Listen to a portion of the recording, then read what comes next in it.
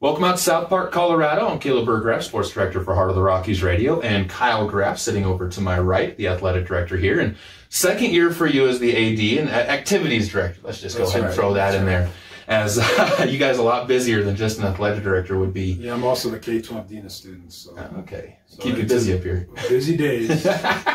now, uh, second year for you, kind of getting uh, a little bit of a flow, a rhythm going into this year for, for the position. well, I feel like we've come a long ways in a year, uh, a year and a half, uh, or however long I've been on on the job, just because I feel like we've got some things in place. Um, we've got great coaches. Um, our kids are buying in. Um, I loved it when one of our kids walked up to me and said, "I'm so glad you're here because now we're doing things the right way." Which um, is the best compliment I could get from any of them because that's what I want is for us to do things the right way, um, work hard, get kids involved, uh, and uh, you know we only have limited number of kids and students, and we can only do a limited number of sports, but uh, the ones we do, I want to do it at, a, at an excellent level. Well, and that is a huge perk when you have that, and not just a, a couple of kids, but really, I mean, classes. I mean, you, you talk about South Park, it's not going to bring massive classes to the side of the table in high school, but when you look at it and you have 60% of one class and, and 50% of another class, and, and, and even at 70 of some and 40 of others, but you still have good participation numbers. You're not getting in one class or two Right, I classes. think we have 130 kids in the high school approximately, and this fall we have 100 and not 100, but we have um, 70, 75. I don't know the final count. We're just in our second week. We picked up a couple more yesterday.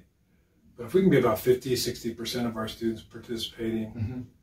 that creates a better environment for us all around in the classroom, in the Mhm. school. I mean, it's just, it's really good. Well, and that's not just athletics. That's also talking a little bit about the, the other activities, the band, the choir, the drama. Right, we have all those things too. Yeah. And uh, for a small, and we have a beautiful facility. I mean, Oh man, it's gorgeous here. you just look out the window, or you just look out at our, our facility is is pretty state of the art, brand new. We have a you know a turf football field and all weather track. We have three gyms. Um, people love to come from our size school to play things like vol- we have a volleyball scrimmage here Friday. hmm And the reason we're having it is here is because we have the two nice gyms, and most of our schools in our class have one gym. And it takes forever to get things done, so it's good to have that. Um, so those things all help. I mean, and then this year we did a branding project, which is kind of a new thing for me, where um, you can see the shirt I have on and the shirt that kids wear them all the time.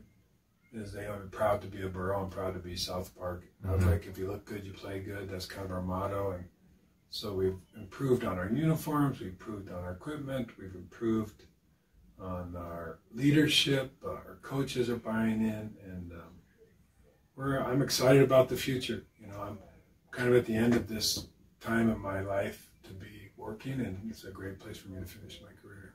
Well, and and you you had a perfect segue there right into the sports themselves. I think some pretty exciting times for for both volleyball and football coming up this spring. Football, uh, you you have a very good returning player that's going to be a big leader on that team, and Michael Kelly, but also a lot of youth on that team. Um, and I think a, a bit of hunger. The last two seasons, the 17th team, the, the one that missed, has been South Park. And I think there's a little bit of hunger right now coming from this team. Right. I'm so. You saw Michael when you walked in today. Mhm. I mean, I, I'm so impressed with his leadership and a couple other seniors, um, John O'Donnell and Preston Haley, and and I just really believe that uh, we are at that brink where I think in our league this year will be maybe the top team, one of the top teams. Um, our non-conference schedule is very difficult. We have Soroco Mhm. and uh, coming up here, Haxtun's coming up here, play Del Norte. Those four games, win or lose, are going to help our RPI because we're trying to keep away from being that 17 team. I mean, if we win our league, automatically, but uh, but yeah, we're going to compete, and um, I think we're at that point now where we didn't feel like we could compete. When I got here, I felt like it was this, well, we'll be okay. We'll just do it for fun. Now I feel like there's a real feeling that they can compete to be good.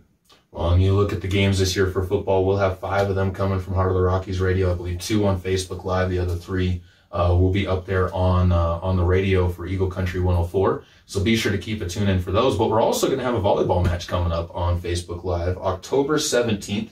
Uh, Cotopaxi ended up moving one of their games. You guys had a game on that day, so we slid in South Park volleyball for that one, and uh, Nice. It- that. that is going to end up being a game against Del Norte, the final home game, so senior day for the girls, and and uh, volleyball this year lost some of the talent from that team. Uh, you, a lot of seniors on the girls we team lost our year. seniors and our coach. Yeah. So, So volleyball is going to be some questions, but I think that also brings some excitement into it as well because when you lose that that that big class, you also have some openings and some kids maybe want to try and step into those holes. And you know, we're led by a really good junior class, and we have one senior, Piper Davis, who's doing a great job. But then, then we we have a great junior class, and our and sometimes you change coaching staffs, and you're mm-hmm. worried, you're always worried about that because we had a great coach, and she just retired, and so our assistant coaches stepped in, Debbie Davis, into that head role, and is awesome, and uh, kind of changed our our I don't know how to say it, but changed the environment in there in the Mhm. gym. They just seem to be having more fun. They just seem to be really excited. They come in here and tell me how excited they are, and um, I think that uh, you watch, they might surprise some people. I think this is going to be a fun year for South Park athletics. I think they're one of the a couple of small schools that are really going to have some good years. I think Cotopaxi, you guys have some of those scrimmages with, which I think is only going to help as well. Uh, they're coming up here for that volleyball scrimmage on the right, They'll on be here Friday, Friday. as well. We have them, and then Saturday we have um, Custer Yep. and Fowler for football, and that'll be a good scrimmage here. So this will be a fun weekend just to kind of see where we're at because you know two weeks of practice and the summer stuff. We we did it had a great summer. I mean, our coaches did more with the kids this summer.